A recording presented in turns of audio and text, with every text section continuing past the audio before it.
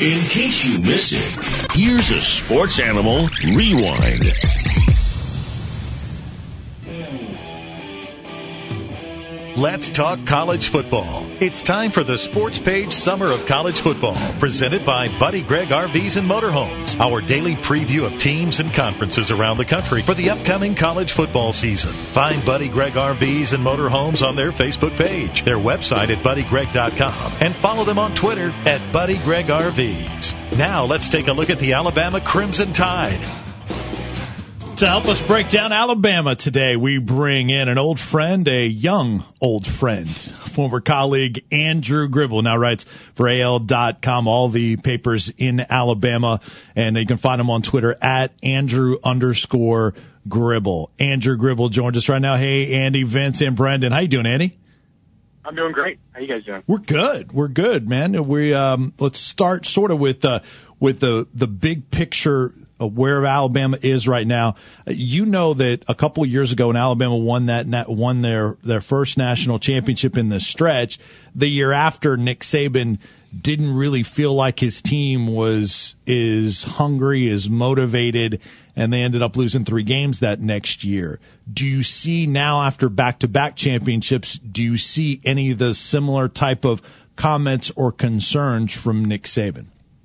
You know, I think at this point in the off season that uh, Nick Saban is always concerned about something, and he's made the point over and over again that you know he uh, if he if he was satisfied at this point in the off season that he you know he he wouldn't end up having a national championship winning team by the end of the year. So you know he always wants to see it as a work in progress, especially in at the end of the, the incident in the off season with the four players getting arrested and kicked off the team. I think that was uh, uh, kind of a, a thing that has since he's been here, and it, it served as maybe uh, a wake up call for some for some of these players uh, in terms of kind of the, the uh, maybe the elite is elitism that these players that got kicked off team had, thinking they could get away with anything, and you know really served as a, a humbling moment for the rest of the team and kind of recentered the focus going into uh, spring workouts and spring football and going into the summer. But you know, there's leaders on both sides of the ball that are have really emerged, and, and with AJ McCarron at quarterback, uh, CJ.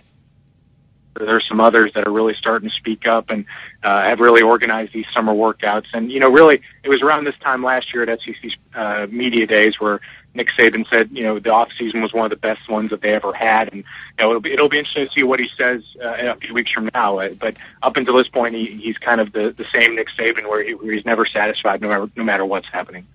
Well, Andy, did you did you see anything in, in terms of this spring? I, I guess from the players that, would have been different, or in terms of just quotes coming out of there, or, or anything like that that would say that the way that they were able to respond to the, the national championship two years ago and, and last year's off season. Eh, did you see any difference from the players? And I know some of there's some new faces, but there's a lot of the, the same guys around.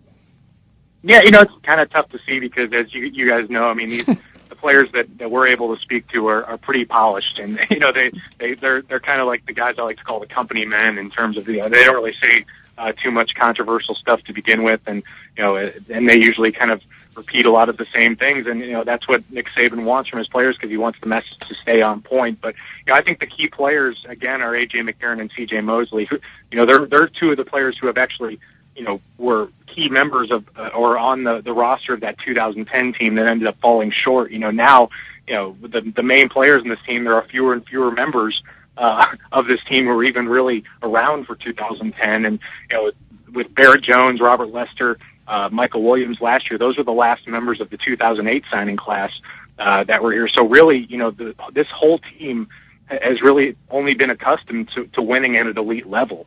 Uh, and so the, the memories of 2010 are, are getting more and more faded. So I think that becomes even more of a challenge uh, for Nick Saban and his coaching staff to, to keep them focused and, and make them realize, you know, even though you are Alabama and you are the number one team in the country, uh, you're still able to get beat. And I think that, you know, ultimately the, they'll probably keep harping back to that loss to Texas A&M last year because they're, you know, you, you got to grasp at, at moments a failure for this program to remind them that, that they can happen. Joined by Andrew Gribble, covers the Alabama Crimson Tide for AL.com. Andrew, I want to go position by position with you. You you do it well for AL.com. You used to do it well for us here on the show when we did it with Tennessee. Uh, let's start at the quarterback position with AJ McCarron. The, the numbers last year were phenomenal, as you know. But what about how he can be better, and then what they have backing up AJ McCarron should he get hurt? Well, you know, I, I think it's going to be hard for him statistically to be much better than he was last year. I mean, it's it, you know the probability of football makes it almost impossible to throw fewer than three interceptions, and you know he really only threw those three interceptions in two games. Uh, so really, when you look at it, he had 12 games without any interceptions, and you know he put up a bunch of yards, the most by pretty much any Alabama quarterback because of the way uh, Alabama's offense is typically structured. But uh, you know, it's going to be hard for him to do that as well, just because you know you look at the schedule uh, and you see a lot of games where he might be pulled out uh, before the third or fourth quarter, and you know, so it, statistically it might be harder, but I think he, there's a lot of things he can maybe do uh, mechanically. He's and just getting more and more comfortable with this offense in his third year, uh, in his second year under offensive coordinator Doug Nussmeier, and you know, really the interesting storyline all offseason here has been. Uh, what's the future at the position like? Alabama has a ton of backup quarterbacks, but really uh, not one that has emerged as uh, the guy you're going to look at in 2014. I think entering the year, Blake Sims uh, will probably be the number two quarterback on paper. Uh, but that doesn't mean he'd be the quarterback of the future if AJ McCarron had to miss a couple games. Uh, redshirt freshman Alec Morris uh, has really emerged as maybe that that guy if you had to pick one guy at the moment. But you know, there's time for players like Cooper Bateman, uh, who's a who's a freshman, uh, and then even Luke Del Rio, uh, the son of Jack Del Rio. He's a walk on, uh, but he had a very good spring as well. So uh, that backup quarterback job will be interesting to watch throughout the year. And I wouldn't be surprised if, you know, Nick Saban has maybe a quicker hook with McCarron uh, just to get these guys in the game and know what he has for 2014. And now with uh, with McCarron's favorite target, uh, Amari Cooper, obviously shredded Tennessee last year, but coming in doing what he did as a true freshman last year how, how do you see his, his his sophomore jump in terms? He's obviously now a very known commodity. He was a high rank. What was he like five six? I think ranked among wide receivers going into last year. But you know, I, I don't know if anybody could have foreseen what he did last year. How, how do you see his sophomore jump?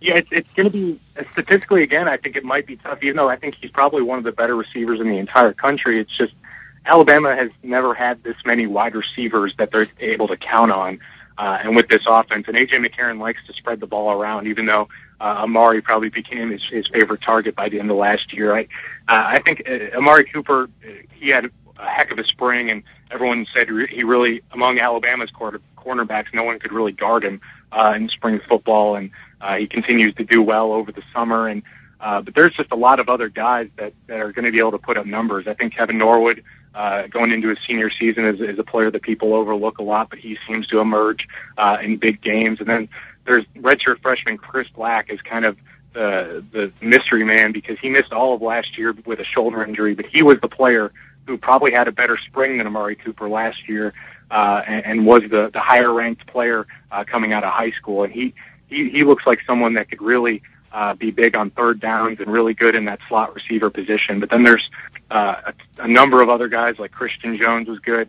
Uh, Raheem Falkins was an early enrollee freshman. Uh, Robert Foster comes in this summer as the number two overall wide receiver in the entire country. So there's just there's a lot of a lot of players that, that are going to be vying for playing time at wide receiver, and that's why Nick Saban has moved a couple of them to defensive back because there, there's just no way they can get all these guys on the field. Andrew, talk about the running back position. TJ Yeldon moves into that one spot. It's amazing that he seems like a, a one back, but shared the, the carries with Eddie Lacy last year. But talk about Yeldon and then the depth behind him, which is pretty ridiculous as always. Yeah, there's a lot of guys there at that position, but you know, I, I could almost foresee it just because Yeldon is such a, uh, everyone knows that he's kind of a special player at that running back position. I, I almost wonder if they're going to divide the carries kind of like the way they did in 2011, uh, where Richardson was clearly the number one guy and then, uh, Lacy was number two, whereas last year Lacy and Yeldon really split carries down the middle. But, uh, behind Yeldon, there, there's Kenyan Drake who, uh, somehow had five touchdowns and 300 yards out of the third or fourth string running back position last year. Uh, Derrick Henry, uh, who enrolled early but broke, broke a bone in his leg he, he's someone that, that could be there uh, fighting for carries. There's Jalston Fowler. uh, who missed all of last year with an injury, but uh, he's a kind of a third down back at about 245 pounds. And then uh, there's three true freshmen that'll be on campus uh, who already are, are on campus and, and will be around for August uh, camp. Altee Tenpenny, uh, Alvin Kamara, and Tyren Jones. Uh, I think players have shown in the past if you're a freshman and you can carry the ball, uh, Nick Saban will put that trust in you. So there's going to be a lot of competition uh, for that second, third, and fourth spot uh, on Alabama's running back depth chart. And I wouldn't be surprised if one of one or two of those uh, freshmen ultimately have to redshirt. Obviously, I guess the only two real position questions of, and not even concern really when it, it comes to a program like Alabama, but that the questions are surrounding would be the O line and, and probably cornerback. So I want you to start on that O line there before, uh, you know, just kind of feeding right off that, that running back conversation. Yeah, you know, there's there there were two three positions up for grabs from last year.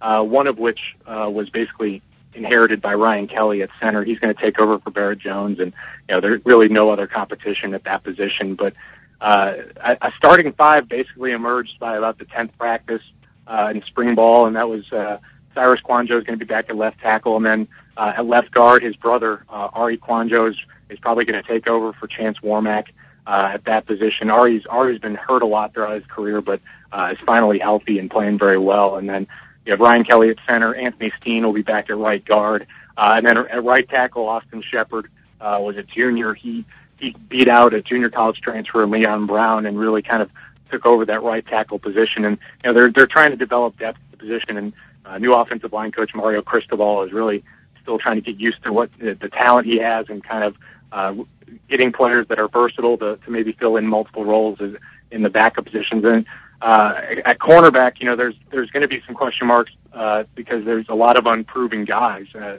uh, replacing Dee Milliner is going to be very hard to do.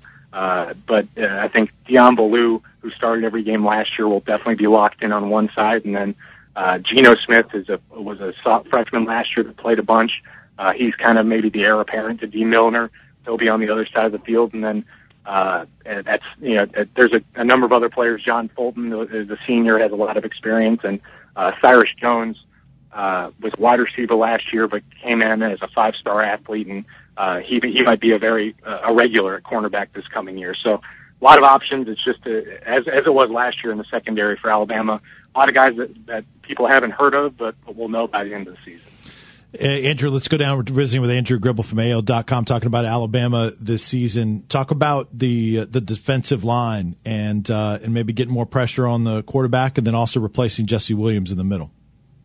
Well, you know, with, with Jesse Williams in the middle, it looks like there's going to be a couple of guys. He he was, you know, probably m- the most underrated player in Alabama's entire defense last year. But uh, I think junior Brandon Ivory, uh, sophomore Darren Lake uh, and then a couple others to potentially fill his spot at nose guard. Uh, a guy to watch is Jeoffrey Pagan, uh, a former guy that Tennessee really wanted a couple years ago. Ultimately, uh, went to Alabama. He's uh, been a regular uh, reserve for the last couple of years, and he's kind of going to fill that role that Damion Square used to play.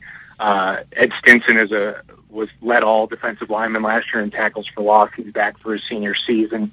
Uh, and then there's a number of guys. I think uh, two to watch are LaMichael Fanning and Dalvin Tomlinson. They're they're both kind of that speed end uh, rusher that you know that maybe a little bit lighter. I think LaMichael Fanning's drops about 20 pounds uh, to, to maybe get a little faster off the edge. And you know, really, the it's going to go beyond the defensive line to create more pressure on the quarterback. But those two guys, uh, if they can kind of emerge as those fast twitch uh, pass rushers, which is something that Alabama did not have last year.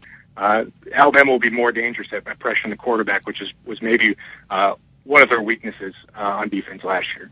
It, I guess it, it kind of developed over the year. The first what seven games or so, the defense was just ridiculous, and then you saw some teams actually put some points up on them. It seemed, to, you know, mainly by having to go over the top against that secondary. With the secondary now being a little bit weaker, like you said, replacing D. Milliner, is that? I mean, in terms of the actual blueprint of beating this team, do, do you see it being a very similar thing to to last year? I think the blueprint probably remains the same, but it, it might be tougher because I think w- with the way Alabama was getting beat last year, I think the weaknesses uh, were maybe up front that maybe made the, the back end look worse.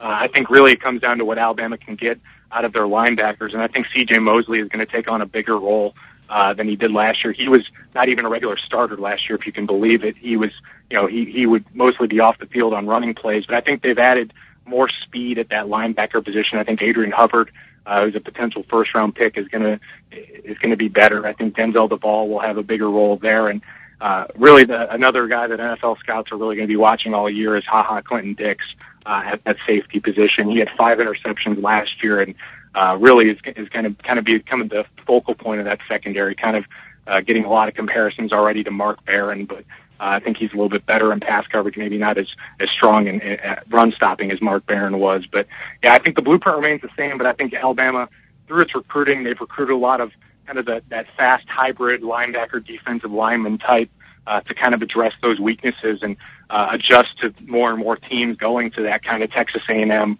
Ole Miss, Auburn style of offense. And uh, that's that's the way Alabama's kind of treating their personnel going forward, and that's the way they've treated it with uh, this upcoming recruiting class and, and the 2013 one. Andrew, uh, outside of the schedule, which we'll talk about in a second, what else is really important or noteworthy about this team? Maybe even some freshmen that you think that you haven't mentioned that might be able to make an impact and and uh, burst onto the scene that fans could uh, could kind of keep an eye on.